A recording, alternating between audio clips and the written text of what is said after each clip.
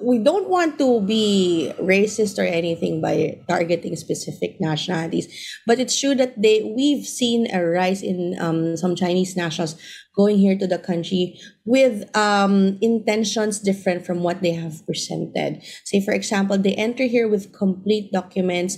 They have their valid visas, meaning they have been vetted already by the Department of Foreign Affairs um, before entering here in the Philippines because they have applied for their entry visa when they enter here in the country, they have all the complete docu- documentation.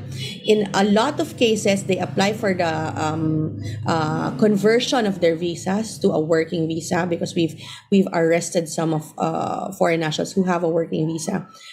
But the intention here is different as as we've seen in the recent raids by local law enforcement agencies they are housed in pseudo companies that uh, pretend to be legitimate online gaming companies but are really involved in criminal activities like prostitution like kidnapping um, forced labor and stuff like that in the guise of a legitimate company so that's what we're um, focusing on right now. And we're really thankful. Actually, Sir Cito, in the past, it's really been just the Bureau of Immigration who has been arresting and investigating all of these um, foreign mm-hmm. syndicates here in the Philippines. But we're really thankful that it has already been, I, I guess, a national effort, mm-hmm. which includes the local law enforcement agencies now who has been stepping up their game in arresting um, these criminal syndicates here in the Philippines.